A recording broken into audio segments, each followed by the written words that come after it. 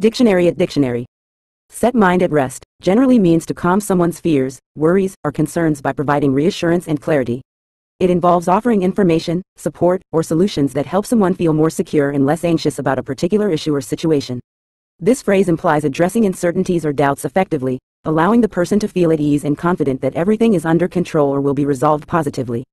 By setting someone's mind at rest, you contribute to their sense of peace and emotional well-being, helping them to relax and feel more comfortable. Overall, it emphasizes the importance of alleviating mental or emotional distress through reassurance and thoughtful communication.